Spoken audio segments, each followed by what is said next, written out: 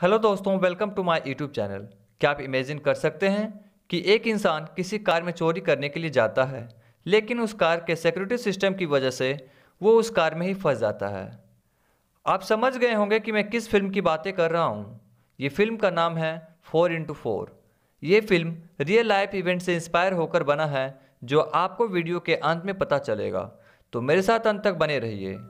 Film के शुरू में हमें एक कॉलोनी दिखाया जाता है, जहाँ हर तरफ़ सीसीटीवी कैमरा और दीवारों पर टूटा हुआ ग्लास लगा होता है। ऐसा देखकर लग रहा होता है कि उस कॉलोनी में चोरी बहुत ज़्यादा होता है, इसलिए सिक्योरिटी इतना टाइट है। थोड़ी ही देर बाद एक आदमी एक कार के पास आता है, जो कि X U V four into four car होता है। उस आदमी का नाम सीरो है, जो कि वहाँ चोरी करने आया है।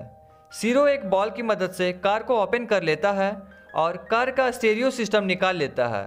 यानी कि सीरो कार का स्टेरियो सिस्टम चोरी करने आया था।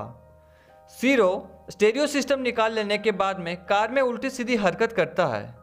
कार के पीछे का सीट पर टॉयलेट भी कर देता है और वो वहाँ से जाने लगता है। बाहर निकलने के लिए जैसे ही कार का गेट ओपन करता है, लेकिन ओपन नहीं होता है। दरअसल वो कार सिक्योरिटी प्रूफ था। अब सीरो की मुसीबत यहाँ से शुरू होने लगता है। वो आगे पीछे सब गेट को ओपन करता है। लेकिन सीरो को बाहर निकलने का कोई रास्ता नहीं मिला। जिस बैक सीट पर सीरो ने टॉयलेट किया था, वहीं पर सीरो को अपना हाथ भी रखना पड़ता है, कार का गेट ओपन करने के लिए। फिर सीरो एक लोहे के रॉड से कार के शीशे को तोड़ने की कोशिश करता है, लेकिन कार में बुलेट प्रूफ ग्लास लगा होता है, जिस कारण से सीरो को कोई फ़ायदा नहीं होता। फिर वो दरवाजे के ताले तोड़ने लगता है, लेकिन इसमें सीरो खुद जख्मी हो जाता है। सीरो फिर अपनी पत्नी को भी कॉल करता है लेकिन इतनी अच्छी किस्मत कहाँ थी? उस फ़ोन की बैटरी भी डेड हो जाती है। फिर सीरो अपनी बंदूक निकालकर फायर करता है, लेकिन बुलेट ग्लास में लग के सीरो के पैर में वह उल्टा लग जाता है। अब सीरो बुरी तरह जख्मी हो गया था। उसे गोली लगी है और हाथ भी घायल है। वो अपनी टी शर्ट को निकालकर जख्म को बांधता है। असल में कार में बाहर से काला शीशा था। अंदर का कुछ भी बाहर से नहीं दिखता है। लेकिन कार के अंदर से बाहर का सब कुछ दिखाई देता है। और कार साउंड प्रूफ भी है। मतलब अंदर की आवाज़ बाहर नहीं जा सकती। मतलब वो कार सीरो का कब्र बनने वाला था। सीरो स्टेरियो को वापस अपनी जगह पर लगा देता है और दिमाग को आराम करने के लिए गाना सुनता है। सीरो की भूख और प्यास से हालत खराब हुआ जा रहा था। लेकिन हैरानी की बात यह है कि अभी तक कार का मालिक नहीं आया है। फिर थोड़ी देर बाद कार के स्क्रीन पर एक कॉल आता है, जो कि एक्सयूवी कार के मालिक का फ़ोन था, जिसका नाम एंड्रिक फेरारी है। सीरो उसका फ़ोन रिसीव करता है। एंड्रिक बताता है कि वो पेशा से डॉक्टर है। एंड्रिक कार के बारे में बताता है कि फुल बुलेट प्रूफ और साउंड प्रूफ है, और कार एंड्रिक के मोबाइल से कनेक्ट है, जो कि एंड्रिक अपने घर से बैठ कंट्रोल कर रहा है। सीरो गुस्सा में एंड्रिक को गाली देता है और कहता है कि मुझे यहाँ से बाहर निकालो। सीरो को ऐसे गाली नहीं देना चाहिए था। फिर एंड्रिक बताता है कि उसे 28 बार लूटा जा चुका है और सीरो को लेकर उनतीसवां बार हो गया। एंड्रिक सीरो से एक सवाल पूछता है कि अगर तुम अपने बच्चे को चोरी करते हुए पकड़े गए तो क्या करोगे? तो जवाब देता है कि मैं उसे पुलिस के हवाले कर दूँगा। एंड्रिक जवाब देता है कि उसे कोई पुलिस जज, वकील कोई नहीं ठीक कर सकता, सिवाय तुम्हारे। मतलब आप समझ गए होंगे कि एंड्रिक क्या कहना चाहता है सीरो से। आप चोर हो तो आपके बच्चे कहाँ से अच्छे होंगे? एंड्रिक की बातों से पता चलता है कि उससे पुलिस से भरोसा उठ गया है और 28 बार लूटा जा चुका है। इसलिए और यहीं पर हमें मालूम चलता है कि सीरो एक हत्यारा भी है। पहले सीरो ने कई मर्डर भी किया है। फिर एंड्रिक फ़ोन कट कर देता है और अपने फ़ोन से कार का एसी ऑन कर देता है। जिससे कि सीरो को ठंड से कांपने लगता है। थोड़ी देर बाद एंड्रिक फिर कॉल करके पानी देता है, जो कि कार धोने वाला पानी होता है, जो कि बाद में सीरो को नुकसान पहुंचाएगा, लेकिन सीरो प्यासा होने की वजह से वो पानी पी लेता है। थोड़ी देर बाद एक पुलिस की गाड़ी एक्सयूवी कार के पास आकर लगती है, जिसमें सीरो लॉक है, जिसमें सीरो की ज़िंदा रहने की उम्मीद दिखाई देता है। पुलिस ऑफिसर वो कार को देखता है और एक चालान पर्ची रख देता है कार पर। गाड़ी के काले शीशे की वजह से अंदर से सीरो बहुत आवाज़ लगाता है, लेकिन वह पुलिस अधिकारी का कोई जवाब नहीं आता। फिर कुछ ही देर बाद बारिश शुरू हो जाती है। अजीब बात यह थी कि अंदर सीरो प्यास से तड़प रहा था और बाहर बारिश हो रही थी। रात से सुबह हो गया और सीरो भूख से हाल बेहाल हो रहा था। सीरो फिर से दरवाज़ा तोड़ने की नाकाम कोशिश करता है और एनरिक अपने और अपनी बेटी के साथ हुए ट्रेजिडी सुना रहा था सीरो को। सीरो को कार के अंदर में एक बुकलेट टाइप का मिलता है, जिसे वो पढ़ता है, लेकिन कोई फ़ायदा नहीं होता है, और वो उस किताब के पेज को फाड़कर खाने लगता है। कागज़ खाने पर प्यास भी लगता है। अब आप समझ ही गए होंगे कि सीरो क्या पिया होगा। वो पिया था अपना टॉयलेट।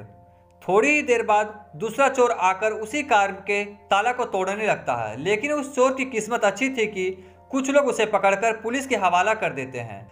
अब सिरो बहुत कमज़ोर भी हो गया था, क्योंकि दो दिन से कुछ खाने पीने को भी नहीं मिला था बेचारे को। फिर अगले दिन सुबह एंड्रिक का फ़ोन आता है और एंड्रिक सीरो से उसका आईडी पूछता है। पहले तो सीरो नहीं बोलता और फिर बताता है। एंड्रिक सीरो के परिवार वालों को एक लाख डॉलर देता है और बोलता है कि सीरो की लॉटरी लगी है। फिर एंड्रिक सीरो के सारे क्रिमिनल्स रिकॉर्ड बताते हैं। उसे कब, कहाँ, किसका मर्डर किया है? मतलब आप तो समझ गए होंगे कि एंड्रिक सीरो को सबक पढ़ा रहा है। किस्मत से सीरो का फ़ोन ऑन हो जाता है और वो अपनी पत्नी को कॉल करता है, लेकिन कॉल नहीं लगता है। कुछ नेटवर्क समस्या के कारण ऐसा होता है। वहीं आगे एक सीन में हम देखते हैं कि सीरो कार को ऑन कर देता है, लेकिन कार रिवर्स गियर में डाला हुआ होता है। फिर भी वो कार को पीछे करता है और एक दीवार में जाकर टकरा जाता है। और कार का शीशा तोड़कर सीरो बाहर निकल जाता है और सबसे पहले एक रेस्टोरेंट में जाकर पानी पीता है और बर्गर खाता है। जब सीरो को पेमेंट करने के लिए कहा जाता है तो रेस्टोरेंट के कर्मचारियों को वह गोली मार देता है। लेकिन ये सब सीरो का सपना था। मतलब आप समझ गए होंगे कि सीरो को सपना भी हत्या करने का ही आता है। कुछ देर बाद एंड्रिक फिर कॉल करता है और इस बार एंड्रिक कार के सामने आया होता है सीरो से मिलने के लिए। एंड्रिक जैसे ही कार का गेट ओपन करता है, अंदर से बहुत ही गंदा महक आ रहा होता है। फिर एंड्रिक कार में परफ्यूम स्प्रे करता है और सीरो से बातें करने लगता है। सीरो से बंदूक लेकर सामने रख देता है और एंड्रिक सीरो को सिगरेट जलाकर देता है। एंड्रिक फ़ोन पर अपने किसी मरीज़ से बात कर रहा होता है।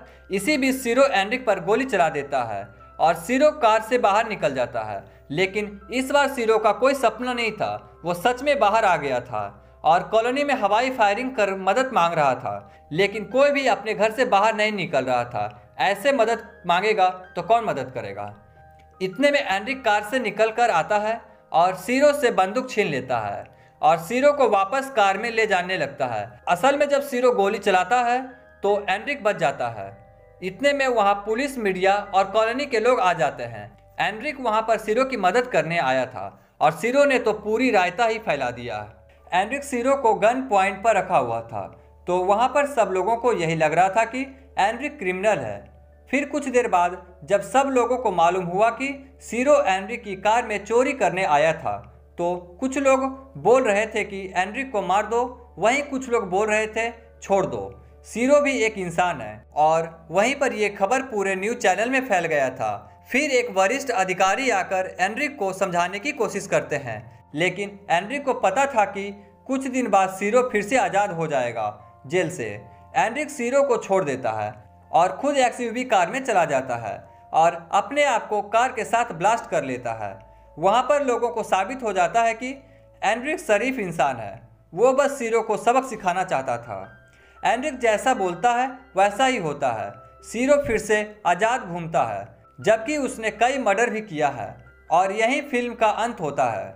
दोस्तों, नीचे कमेंट सेक्शन में ज़रूर बताना कि आपको फ़िल्म की कहानी कैसी लगी। और मैं आपको बता दूँ कि ये मूवी रियल इवेंट पर बेस है। ऐसा केस 2019 में अर्जेंटीना में हो चुका है। एक इंसान कार में गया था चोरी करने के लिए और उसी में फंस गया। नेक्स्ट आपको किस फ़िल्म का एक्सप्लेनेशन चाहिए? कमेंट सेक्शन में ज़रूर बताएँ। और हाँ हमारे चैनल को सब्सक्राइब करना ना भूलें और रेगुलर अपडेट के लिए बेल आइकन दबाएँ। तब तक के लिए बाय बाय मिलते हैं अगले वीडियो में।